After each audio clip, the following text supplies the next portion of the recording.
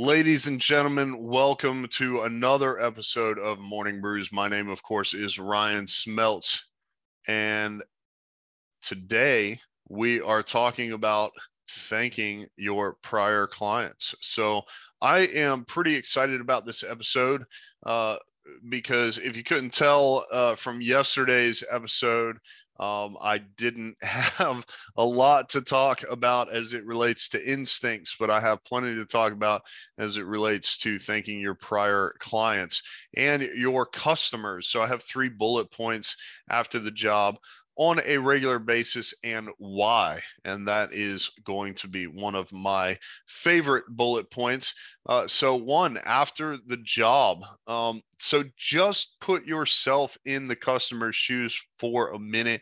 We have all been there where we order something or we use a company for a service and then we get a card in the mail or a gift card or we get a sticker with our order. So you order the coffee and you didn't order a sticker but you get a sticker anyways.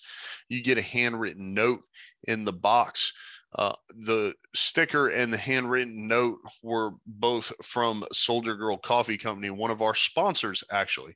Uh, so you can find the link to that coffee in the description.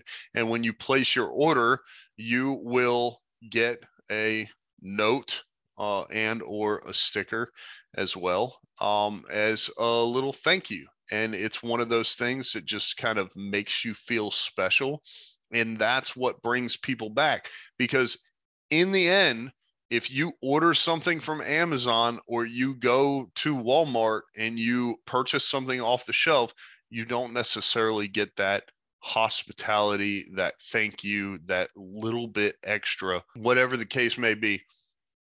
Uh, so making sure that you offer that little bit extra after you do the job, after you ship the order out, after someone makes a purchase with you, you thank them. And then I put on a regular basis because I actually uh, have an insurance policy with someone and they send out Christmas cards every single year. Um, I am sure that if I did cancel or move my policy uh, to another company, that I would stop getting those Christmas cards. But ever since I have been with that company, uh, I have gotten a Christmas card from the person who does my paperwork, from the guy who is in charge of my account with them it's just one of those nice things. So uh, keep that in mind. That's also an opportunity for you to offer specials and or promotions, discounts, whatever the case may be. So if you have something like that available, like 10% off for returning customers, then the card that you send out after the job or on a regular basis is a great opportunity for you to include something like that and help get return customers. But most importantly, to just thank them for being a customer and thank them for being a client in the first place. Another um, period when you may want to send out thank you cards. And I think you kind of see that in the title, thank your prior clients, is when uh, it's it's been a while so maybe three months six months one year after uh, someone was your customer or your client uh, you send that out because saying thank you is always very important, as mom taught us. And uh, in you sending that out, you could rekindle a relationship uh, that maybe uh, they haven't needed your goods or services for some time. Maybe they went to a different company.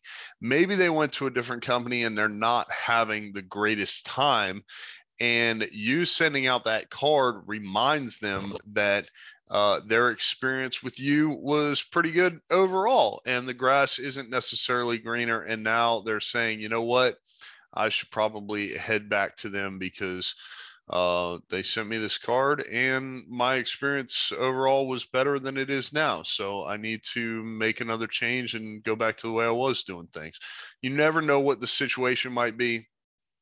Maybe uh, they lost your contact information. You know, those old school people who don't use the internet and, um, you know, they rely on magnets and business cards and they no longer had it. And they, they get that card in the mail and it's got your phone number on it. Next thing you know, they're calling.